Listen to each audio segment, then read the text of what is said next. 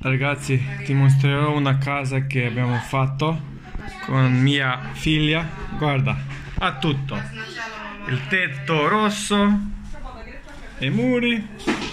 E questo è camera da letto. Qui è letto e Elsa qui dorme.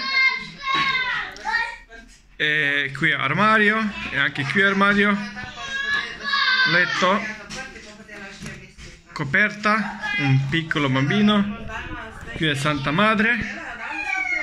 E abbiamo anche una fotografia di nostro amico Padro Giovanni. Mangiare. Abbiamo tutto. E anche un cuore.